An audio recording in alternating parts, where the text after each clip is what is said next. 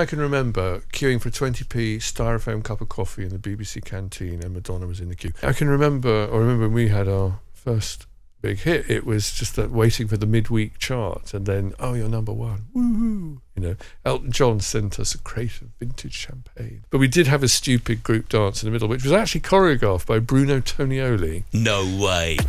Virgin Radio 80s Plus. Reverend Richard Coles, hello, welcome to Virgin Radio, Virgin Radio 80s Plus. Thank you. It Nice is so you. good to have you here. Oh, it's very kind. Was it difficult coming up with these tracks? Because I know that I said to you, just come in with a few. Yeah, but, it was difficult because uh, partly because I wanted to track select. Um, I wanted to select tracks on merit. you know, Yes. the best ones. Also the ones that were significant to me personally, but also the ones that I was in the top of the pop studio when they did it. So that was you know because I I was involved in music in the eighties. So And you gave me this memory just a moment ago when we were just starting up, and you said, You do realise I was in the queue with Madonna buying a coffee I at Top think of the so. I think I can remember queuing for a 20p styrofoam cup of coffee in the BBC canteen and Madonna was in the queue. But I might have imagined it. I'm not sure. well, I think we should go with it. That- Okay, yeah, well, that's that one, yeah. amazing. Eurythmics, Love is a Stranger is your first song today. Yeah. Tell me why you picked this.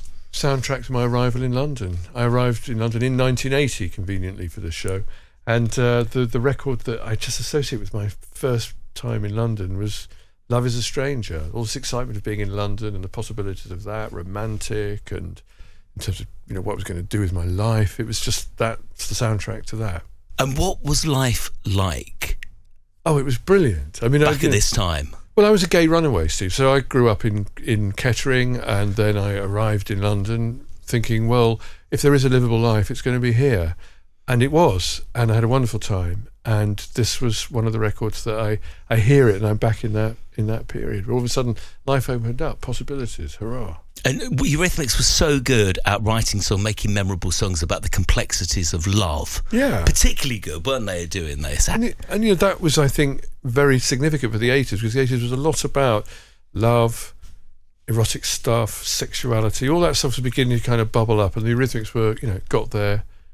Dave and Annie were brilliant, you know, and they just got there before lots of other people did, and they did it in such a memorable way. I mean, they're just great, great songs. I'm going to ask you this loads uh, throughout the week, but did you, you must know them? You must have hung out with them. Well, I know. Annie a little bit, though I know Annie from, from later because we're both now university chancellors in the way of 80s um, pop stars. So Yeah. I know Annie actually, we're having rather serious conversations about uh, the higher education sector. But uh, yeah, I remember we did bump into each other because Annie was Scottish and Jimmy was Scottish. So they had an immediate kind of affinity for coming from the same place. I was a bit scared of Dave because I was rather in awe of him Right. Why?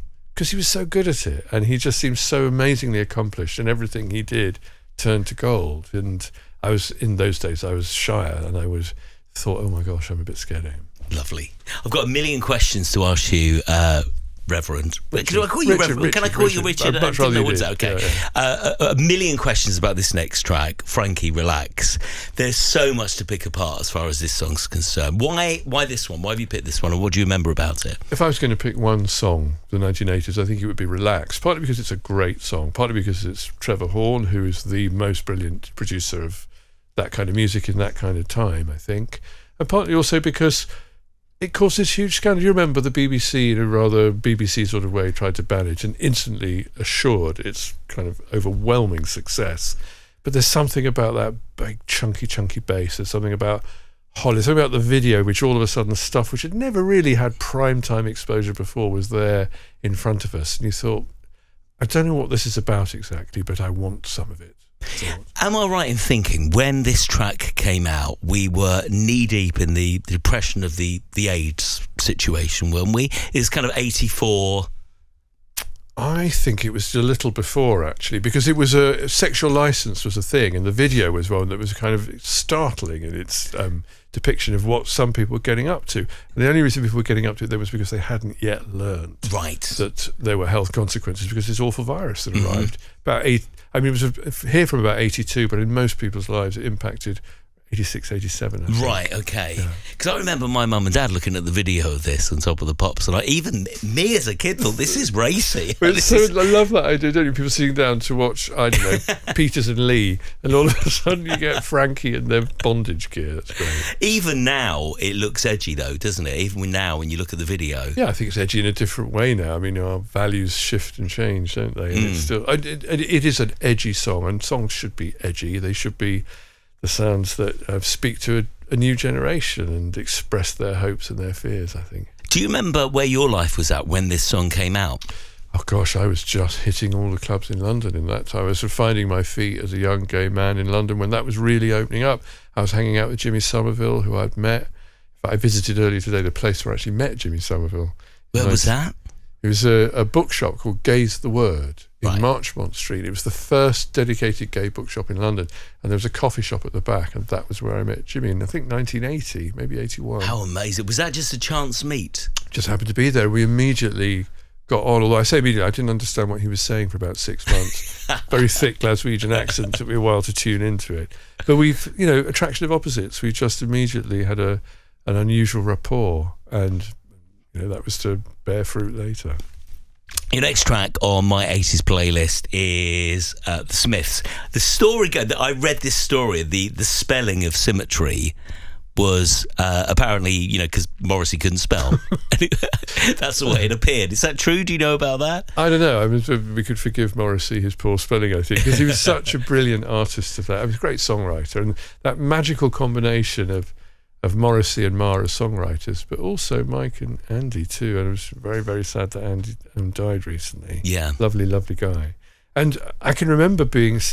I mean, I thought you know the eighties for me was about kind of synth pop really, and then all of a sudden this guitar band came along, but they were doing all these exciting things with Morris's extraordinary brilliance with language, Johnny's superb playing, Andy's superb playing too, and uh, I just remember hearing this charming man for the first time and seeing the video and thinking, "Oh, you can do it that way."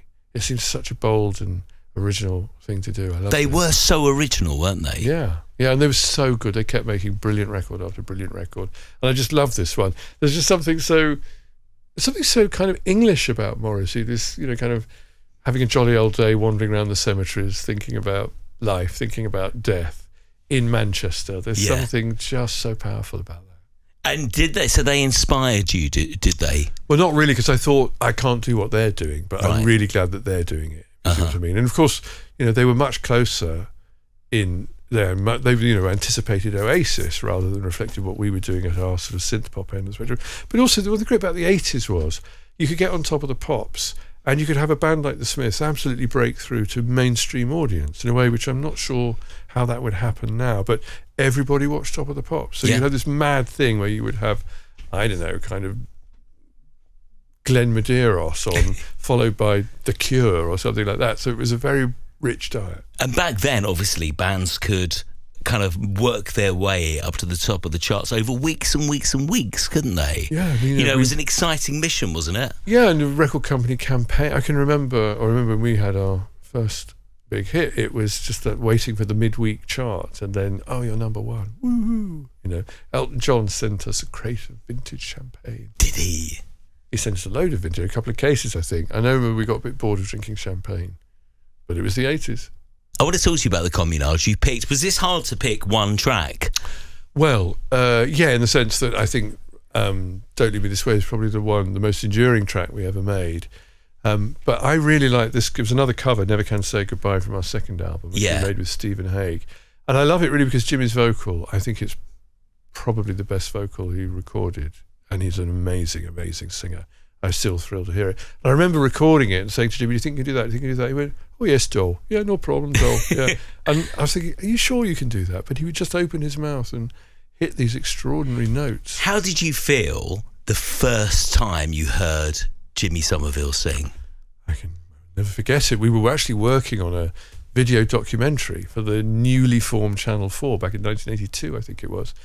And we needed some music for that. And I was playing saxophone then. So I said, Well, I'll play the saxophone. And Jimmy said, Oh, I'll sing something. But Jim's got a very deep, gruff He voice. has, isn't he? You'd never guess that that voice would come, you No, know. and he opened his mouth, and what came out was this extraordinary falsetto, and the hair stood up on the back of my neck, and I think we all just thought, "Wow, this is amazing."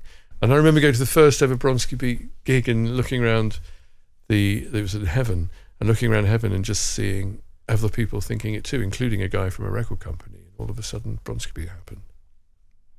And watching the video as I did just before you come in of this song, you particularly looked like you were having such a great time. It was a wretched, awful day. Jimmy and I were having one of the worst rows we ever had, and we had a lot. So I'm glad it looks like that because it, does. really wasn't like that off stage. But we did have a stupid group dance in the middle, which was actually choreographed by Bruno Tonioli. No way. He reminded me as he marked me ruthlessly down on Strictly and deservedly so. And it, of course, if I'd look rewatched that video, I perhaps would have hesitated before offering myself a Come Dancing because it wasn't pretty. Do, do, let's talk about that quickly. Do you? Are, are you glad you did it? Oh yeah, and Yeah. I wouldn't have missed it for anything. It was looks so much fun. so much fun and so fascinating. And the best thing is, everyone who works on it is the best at what they do. So great musicians, great hair and makeup, great camera operators. Billy, the guy who just stitches you up on the side of the stage if your pants burst. You know, they're just great. Did that people. happen? Constantly, constantly.